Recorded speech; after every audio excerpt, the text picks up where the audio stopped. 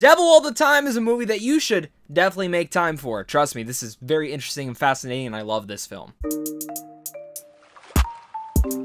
What's going on, everybody? Welcome back to a brand new movie review. Today, I'm going to be discussing The Devil all the time. And if you guys are new here and you guys love movie reviews, rankings, and reactions, I talk all that good geeky content over here on a daily basis. So consider hitting that like and subscribe button as well as comment down below and let me know your guys' thoughts. How excited are you for this film? Have you guys been looking forward to it? I know I have, and I'm sure many of you guys have been as well. All the time is about sinister characters converging around one young man devoted to protecting those he loves in a post-war backwoods town teeming with corruption and brutality. This film was directed and written by Antonio Campos, which I've never seen a film of his before. I've heard he's a very interesting director, and definitely you can tell from this one film in particular. I want to dive back into the rest of his filmography, but it also stars the likes of Robert Pattinson, Tom Holland, Haley Bennett, Bill Skarsgård, Sebastian Stan, Riley Keough, Mia Wasikowska, Jason Clarke, and oh my god, the cast just keeps going on from there.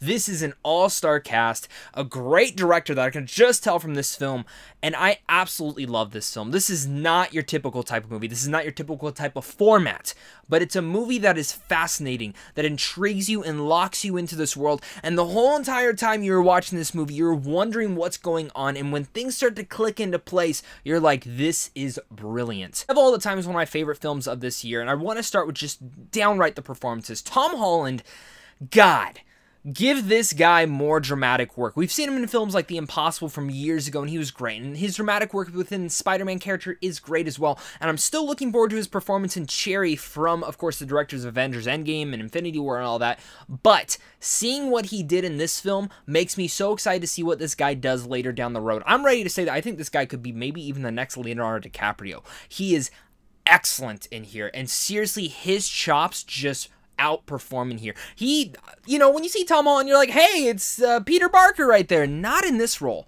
He's dark, and he has a lot to do in this film, and really centering this film around. And the way that the story structure brings you about to understand this kid is, you know, a little bit slow and meandering at first, but once you get going, you really understand this guy and everything he's kind of been through. And that could be a risk. We won't love the meandering type of story that they had in here because it really has a prologue, an epilogue, and in general, the whole story in the middle. And I love what Antonio Campos was able to direct inside this film, and again, right. Though Tom Holland does give that fascinating and incredible performance in here, and probably one of my favorites of the year so far. It's the all-star cast around him that really mixes it up and shakes it up, that elevates his performance, and again, the whole story to another level. Robert Pattinson, great. Chameleonizes once again into a role. There's only a couple actors that I think really does that, and one of the producers of this film, Jake Gyllenhaal, is one of those actors that does that, and Robert Pattinson is just getting to that level. Moving through this, Haley Bennett is great. Bill Skarsgård, Sebastian Stan, Riley Keough, and Jason Clarke all give excellent performances in here.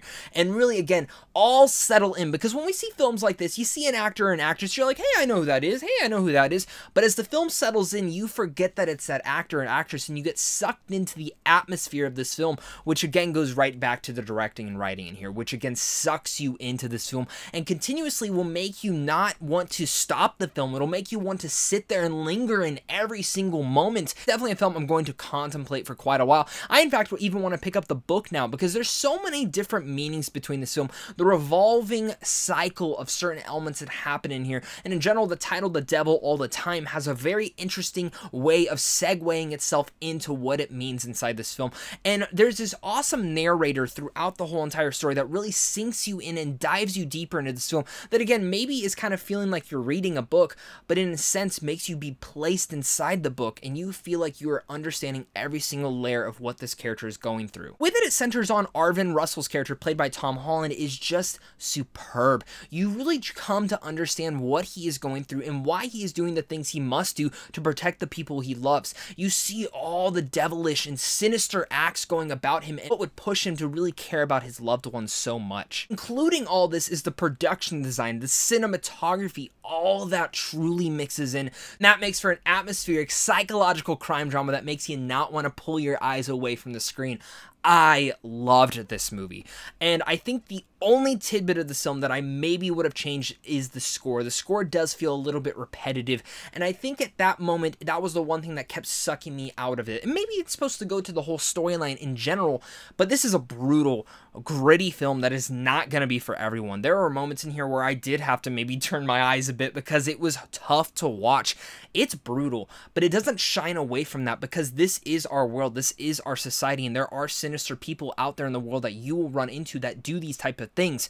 And I love that. You can truly relate to Arvin Russell's character, and every single person around him again elevates Tom Holland's performance, but Tom Holland is the show stopping performance in here. This is an all star movie that I hope many of you guys get to check out. I don't think it's going to be for everyone. Again, it is brutal, it is gritty, and it's definitely, again, tough to watch at times. But I think once you understand and really get into the nitty gritty of what this film is about, it'll hook you in, it'll sink you in, and you won't want to let go of this film. And it'll definitely be one of your favorites as well well. So with all that said, I'm going to give The Devil All the Time an A minus. Thank you guys again so much for clicking on this. You guys are seriously all the best. I hope you guys do enjoy this review, as well as head on over to Sandwich John Films on how to see films early. And of course, it's a big thing to you and a big thing to my Patreon supporters, because without you, I wouldn't be able to do this. Guys, let me know as well who your favorite star of this film is. Personally, for me, I love Robert Pattinson. He's going to be the next Batman, so that's kind of my guilty thing in there. But really, the whole cast is great in here, and I can't wait to hear your guys' thoughts. So again, thank you guys so much, and of course, until next time, stay classy.